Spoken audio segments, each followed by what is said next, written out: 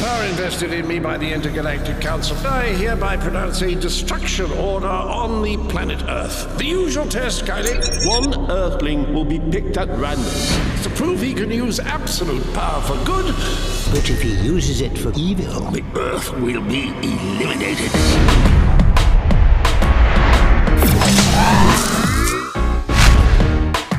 Suppose there was one thing you could do would change your life for the better. Oh, that's easy. I would be able to see Catherine from downstairs. I can make things happen. Clothes, get dressed on me. All I have to do is wave my hand. Dennis, be able to speak. Biscuits. What? Biscuits. Please, please, please. Nothing else matters. Come to think of it, I wouldn't mind shagging your leg right now. I could solve every problem in the world. Have you thought this thing through? Dog Dogmas, clean yourself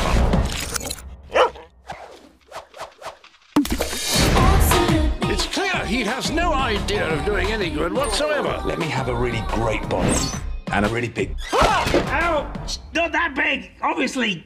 I was being selfish. I could have made people happy. Let everyone who died be alive again. Ah! Not everyone who's died ever. Are you crazy? Me be president of the United States.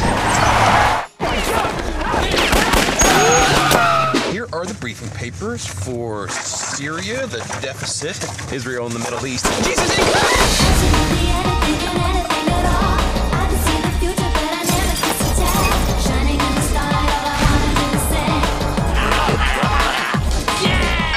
Sibel! Sibel! Just pretend to be a dumb animal again. I love you, Neil. Shut up, Dennis. Shag her, Neil.